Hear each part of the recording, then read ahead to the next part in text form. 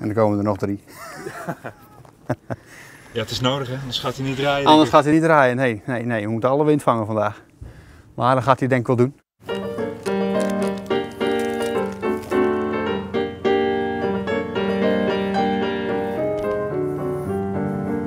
Ik ben Jesse in het veld. Ik ben 24 jaar en de trotse molenaar van eh, Lely in Puttershoek.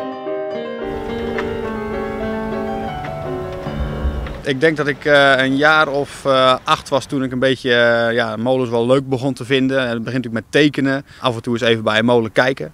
En vanaf mijn dertiende ben ik echt actief op de molen aan de, aan de slag gegaan als, als molenaarsleerling.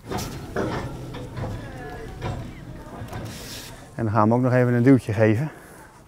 Want anders gaat hij het niet doen.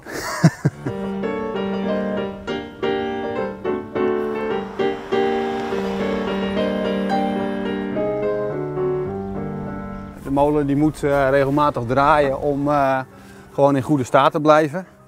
Op het moment dat je een molen eh, niet vaak laat draaien of gewoon stil laat staan, dan moet je hem eens in de 10 jaar restaureren. En draait hij wel, dan is dat eens per 30 jaar.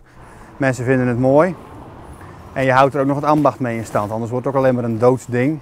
Er is eigenlijk als molenaar ook weinig aan om op een stilstaande molen te zitten.